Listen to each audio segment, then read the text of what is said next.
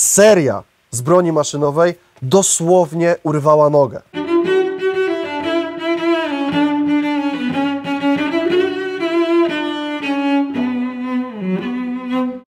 Witamy w kolejnym odcinku Historii Hiking.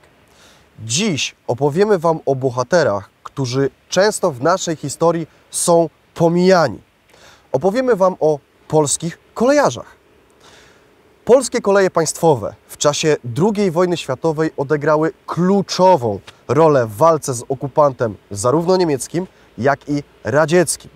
Polscy kolejarze stawiali czynny opór od samego początku wybuchu, wybuchu konfliktu, a w trakcie jego trwania br- brali także udział w akcjach dywer, dywersyjnych bezpośrednio wspólnie z Armią Krajową, także z jej zbrojnym ramieniem.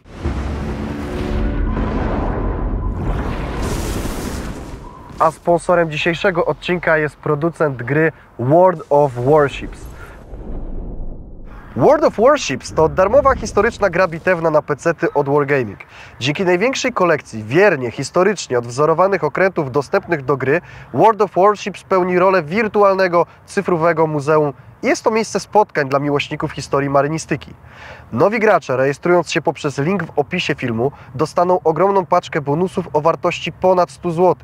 Mowa o 500 dublonach, 7 dniach wersji premium, 2 milionach kredytów czy okręcie Tier 4. Nie wiem jak Wy, ale ja bardzo lubię okręty podwodne i sam jestem graczem. Mam nawet własną strategię, jaką przyjmuję podczas walki. Spróbujcie World of Warships z linku w opisie i dajcie znać jak Wam idzie. A teraz zapraszamy na nowy odcinek.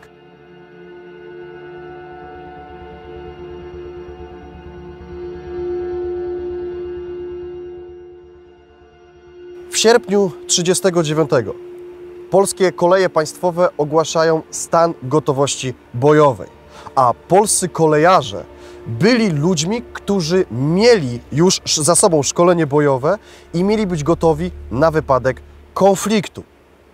Warto też podkreślić, że na kolej spa- spadła ogromna odpowiedzialność za całą logistykę na rzecz broniącej się Polski. To właśnie nasi kolejarze musieli zapewnić, aby kolej pracowała sprawnie i mogła w miarę stabilnie i nieustannie dostarczać amunicję na potrzeby walki obronnej. To właśnie dzięki temu, że polscy kolejarze byli w stanie sprawnie w czasie kampanii wrześniowej przeprowadzać transporty wojskowe, Warszawa potrafiła bronić się przez 4 tygodnie. Wielu pracowników polskich kolei swoje doświadczenie bojowe zdobywało w walkach chociażby w wojnie polsko-bolszewickiej. Wielu z nich miało także pozwolenie na broń.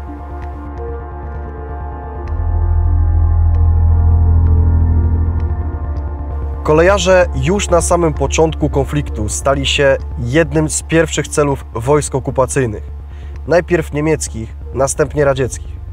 Represje dosięgły ich niemal od razu. Byli nie tyle co przymusowo internowani do niemieckich obozów koncentracyjnych i wywożeni w głąb Związku Radzieckiego, co często zabijani na miejscu. Takich przypadków było całe mnóstwo. 9 września 1939 na stacji kolejowej w Pępowie Niemcy zamordowali niejakiego Wojciecha Robaszyńskiego, a sama infrastruktura kolejowa była pod nieustannym i ciągłym ostrzałem Wehrmachtu. Wojciech Robaszyński był strażnikiem kolejowym, co upoważniało go do legalnego posiadania broni. Pomimo zarządzonej ewakuacji, codziennie doglądał stacji.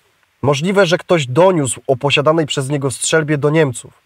Ci 9 września zabrali go, gdy wracał drogą z Pępowa do swojego domu w Wilkonicach.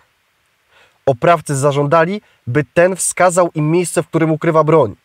Robaszyński schował ją w rurze wentylacyjnej. Gdy Niemcy szli za Wojciechem do toalety, gdzie broń miała się znajdować, kolejarz wyciągnął ją, a oprawcy otworzyli ogień, zabijając go na miejscu. Jego zwłoki odnaleziono dopiero po kilku dniach.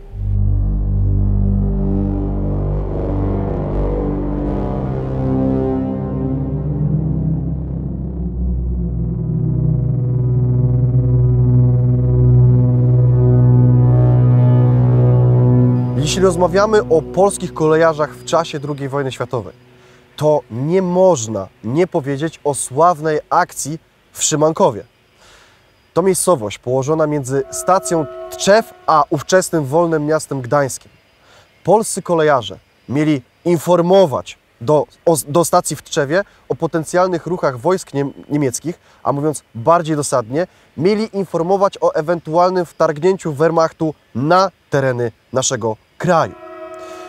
Gdyby Tczew taką informację od polskich kolejarzy z Szymankowa otrzymał, to zadaniem drugiego batalionu strzelców miałoby być wysadzenie mostów na Wiśle, które po pierwsze miałyby spowolnić ruchy Wehrmachtu, po drugie uniemożliwić wojskom niemieckim dostarczenie żołnierzy i sprzętu niezbędnego do prowadzenia dalszych działań wojennych do, na tereny Prus Wschodnich i uniemożliwić przedarcie się Wehrmachtu na tereny już polskie, tym samym przeszkadzając w potencjalnym oflankowaniu wojsk polskich. Trzeba też pamiętać o tym, że polscy kolejarze i polscy strażnicy graniczni byli narażeni na niemieckie prowokacje jeszcze na kilka miesięcy przed wybuchem wojny. W naszych graniczników, w naszych kolejarzy Niemcy rzucali kamieniami, atakowali ich placówki graniczne, a nawet porywali tych ludzi i pod zarzutem szpiegostwa bili ich, szykanowali, aż w końcu aresztowali.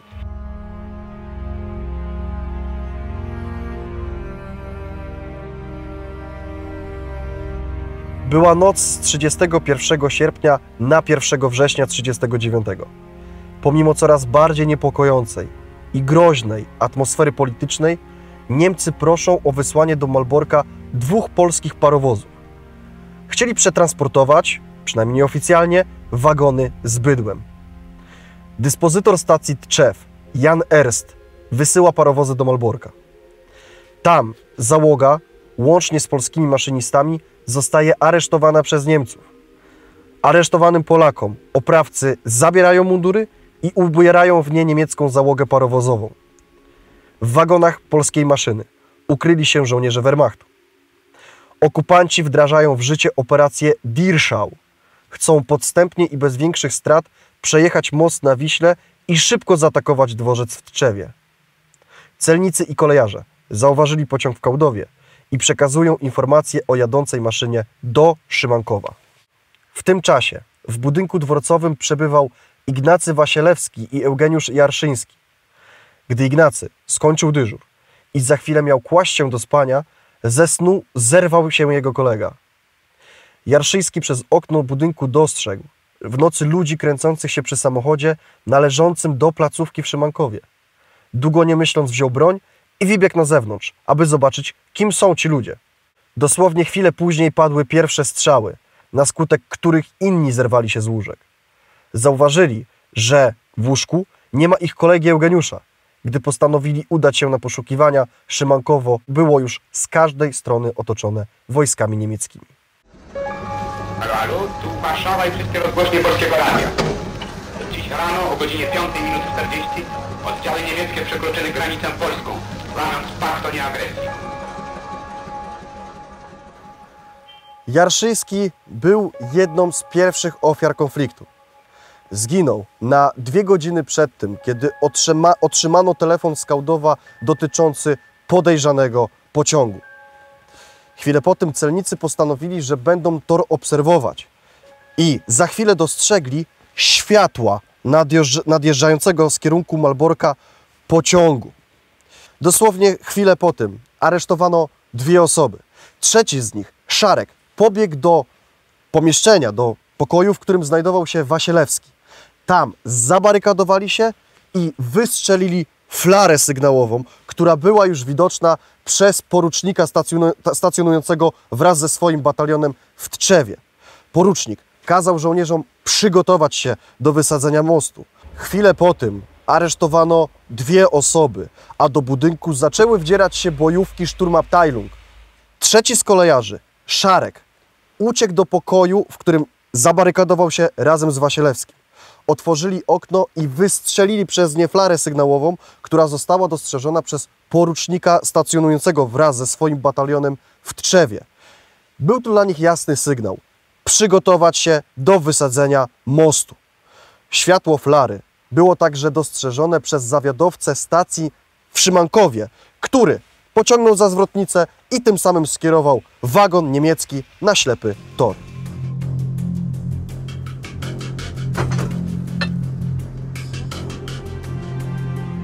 Dzięki sprawnej i szybkiej reakcji polskich kolejarzy udało się opóźnić ruchy okupacyjnych wojsk o 30 minut.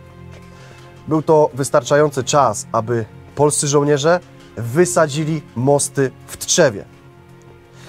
Kolejarze i celnicy już na samym początku konfliktu pokrzyżowali plany Adolfa Hitlera. Niemcy za to byli wściekli, a kolejarzy biorących udział w akcji w Szymankowie spotkała tragedia. Niemcy byli tak zdenerwowani za to, że kolejarze pokrzyżowali ich plany, że zaczęli bestialsko mordować wszystkich, którzy brali w tej akcji udział. Wasielewskiemu Niemcy wpakowali całą serię z karabinu maszynowego w klatkę piersiową. Drugiemu z nich seria z broni maszynowej dosłownie urwała nogę. Na tym jednak się nie skończyło. Tego samego dnia niemieccy okupanci zamordowali 21 innych osób powiązanych z koleją. Nie oszczędzili nawet 22-letniej kobiety będąc, będącej w ciąży. Zamordowali też jej o 3 lata starszego męża.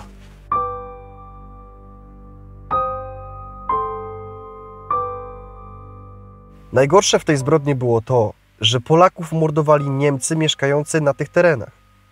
Znali doskonale osoby, do których otwierali ogień. O bohaterskim czynie naszych kolejarzy pamiętać po prostu trzeba, gdyż z taktycznego i wojskowego punktu widzenia opóźnili szybkie, jak się okupantom wydawało, przejęcie kluczowych mostów. Ich działanie wydłużyło obronę Polski w kampanii wrześniowej, za co zapłacili w akcie zemsty najwyższą cenę. Pomimo przegranej walki obronnej i nieuchronnym podziale Polski, kolejarze nie mieli zamiaru spoczywać na laurach. Podczas okupacji postanowili, że będą się organizować i w miarę możliwości będą przeszkadzać wrogowi, dla którego kolej była z logistycznego punktu widzenia bardzo istotna. Dlatego też już początkiem 40 kolejarze stworzyli prawdziwą siatkę informacyjno-wywiadowczą bezpośrednio działającą z Armią Krajową, także z jej zbrojnym ramieniem.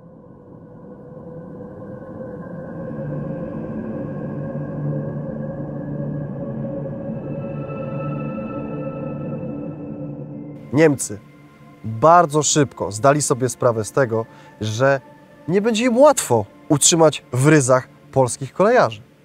Przecież w znacznej większości czuli się patriotami, poza tym duża część z nich miała za sobą bagaż wojskowych doświadczeń. Dlatego w pierwszej kolejności, żeby tłumić wszelkie zapędy do działań antyniemieckich, zaczęli wywozić wszystkich, którzy byli na przykład weteranami wojny polsko-bolszewickiej albo bohaterami innych zrywów patriotycznych, takich jak Powstania Śląskie. Oczywiście ten proces wywożenia ludzi do obozów koncentracyjnych był także chętnie kopiowany przez Sowietów, którzy na teren naszego kraju weszli z dniem 17 września. Nie chodziło też o to, aby wywieźć wszystkich. Przecież pracownicy kolei byli Niemcom potrzebni, tym bardziej, że polska kolej już początkiem 40 w zasadzie w całości stała się własnością wojska niemieckiego i podlegała bezpośrednio pod Narodowy Bank Rzeszy. Na terenach zajmowanych przez Sowietów było podobnie. Kolej także stała się własnością Armii Czerwonej, z tym, że Sowieci oczywiście podjęli pracę na rzecz poszerzenia torów linii kolejowych.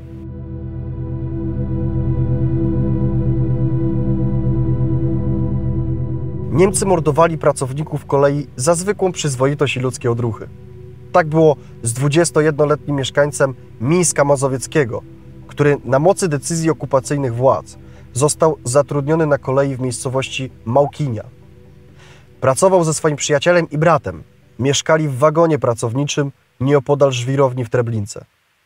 Widzieli, jak na stację w tej miejscowości przyjeżdżały wagony bydlęce wypełnione Żydami transportowanymi do obozu koncentracyjnego Treblinka II. Za pomoc Żydom, także w czasie transportu, groziła kara śmierci. Wielu pracowników kolei nie odstraszyło to od pomocy tym ludziom. Gdy pociąg stawał podczas bardzo krótkich postojów, kolejarze otwierali drzwi, przekazywali wodę, jedzenie i narzędzia, które mogły pomóc w ucieczce z wagonu. Świadkami takich transportów była trójka naszych młodych bohaterów.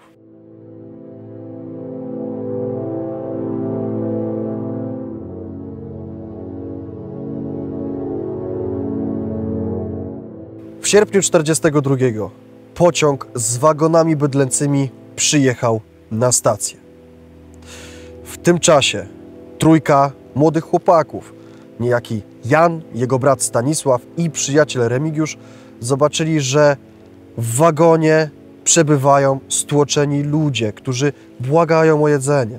Przez szczeliny wagonów bydlęcych wyciągają ręce i proszą, aby ktokolwiek dał coś do picia, do jedzenia.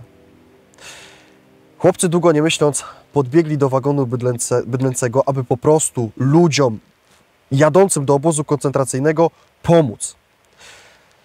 Starali się to robić dyskretnie, ale niestety zostali zauważeni przez niemieckiego żołnierza, który bez ostrzeżenia odpalił swój karabin i zaczął do nich strzelać. Stanisław i Remigiusz zdążyli upaść na ziemię, a później schronili się w rowie. Natomiast Jan nie przeżył. Jego brat i przyjaciel wrócili jedynie po zwłoki, tak aby nie zostały one przewiezione do krematorium w obozie koncentracyjnym albo nie zostały zakopane gdzieś po drodze. Młody bohater miał 21 lat. Zostawił narzeczoną, z którą miał już zaplanowaną datę ślubu. Okupantowi niemieckiemu i sowieckiemu ciężko było zapanować nad polskimi kolejarzami. Tylko w przeciągu jednego roku, od 40 do 41, w ramach sabotażu, pracownicy polskich kolei wyłączyli z użytkowania 40% wszystkich lokomotyw znajdujących się na terenie generalnego gubernatorstwa. Poza tym podpalili 400 cystern z paliwami dla wroga. Współpracowali z Kedywem i w ramach misji specjalnych brali udział w naprawdę spektakularnych akcjach. Wielu z nich miało doświadczenie bojowe i po prostu czuło się patriotami, którym nie w smak było to, że od 1939 musieli wykonywać swoją codzienną pracę na kolei na rzecz okupanta. Wystarczy spojrzeć na życiorysy wielu z nich. Julian Czabak, pracownik kolei, 21 czerwca 40 został aresztowany przez NKWD. Oskarżono go o sabotaż, celowe, złe uformowanie pociągu towarowego odchodzącego ze Stanisławowa do Czortkowa i z racji jego działań sowiecki pociąg się wykoleił. Powodem jego aresztowania była także rzecz jasna jego przeszłość. Przedwojenna służba wojskowa, walka w wojnie polsko-bolszewickiej. Kolejarzy z taką właśnie przeszłością było naprawdę wielu.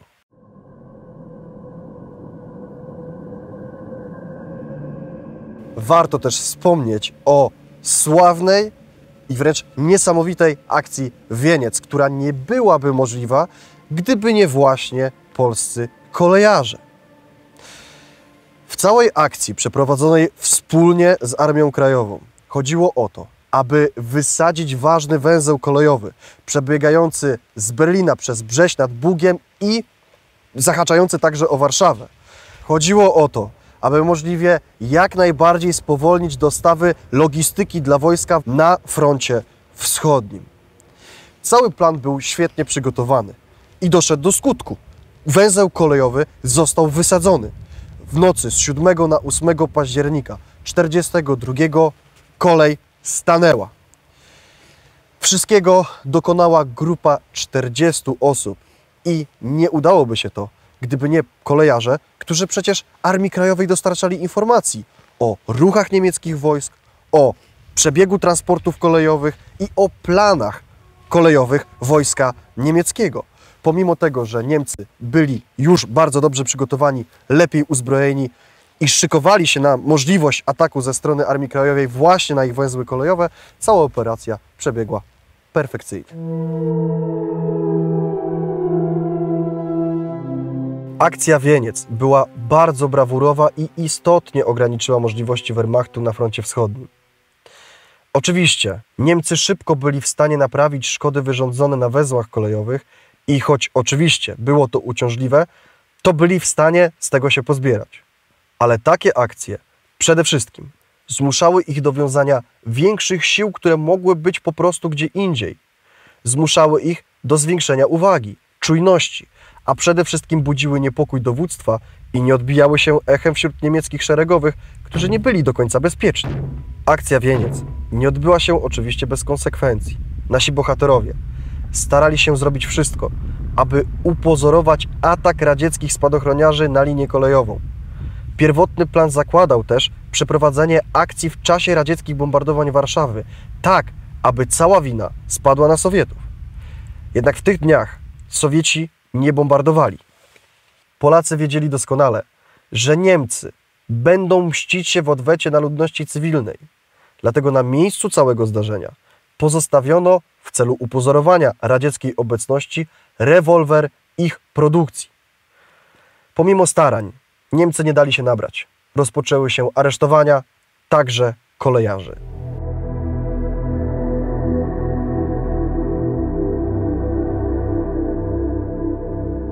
Armia Krajowa oczywiście nie przyznawała się przez pewien czas do przeprowadzenia akcji sabotażowej, a powód był bardzo prosty. Otóż nasi bohaterowie doskonale zdawali sobie sprawę z tego, że cała odpowiedzialność za przeprowadzoną dywersję spadnie na Bogu ducha winnych mieszkańców Warszawy, którzy, co warto podkreślić, w większości popierali tego typu działania. To się nie udało. Niemcy z czasem dowiedzieli się, kto był odpowiedzialny za akcję, ale nie złapali nikogo, kto brał w niej bezpośredni udział. Demonstracyjnie postanowili, że kogoś muszą za to przecież zamordować. Dlatego ustawili w mieście szubienice. Powiesili 50 ludzi, głównie powiązanych z PPR-em i z Gwardią Ludową. Na tym jednak się nie skończyło. Na terenie Puszczy Kampinoskiej rozstrzelano demonstracyjnie 39 więźniów Pawiaka. Był to akt zemsty przeprowadzony przez Niemców za akcję Wieniec.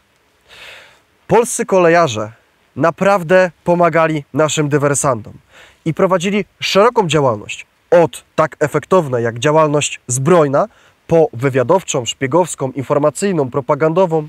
Pracownicy polskich kolei podmieniali też listy przewozowe, przez co niemieckie pociągi z bardzo ważnym dla nich zaopatrzeniem wojskowym, dzięki którym mogli w ogóle prowadzić wojnę, trafiały nie w to miejsce, w które powinny. A to dla Niemców był ogromny problem. Poza tym, kolejarze tworzyli na przykład sztuczne zatory, przez co transporty się opóźniały. W końcu bezpośrednio współpracowali z Armią Krajową i pomagali im w przejmowaniu cennych ładunków w postaci medykamentów, a nawet uzbrojenia.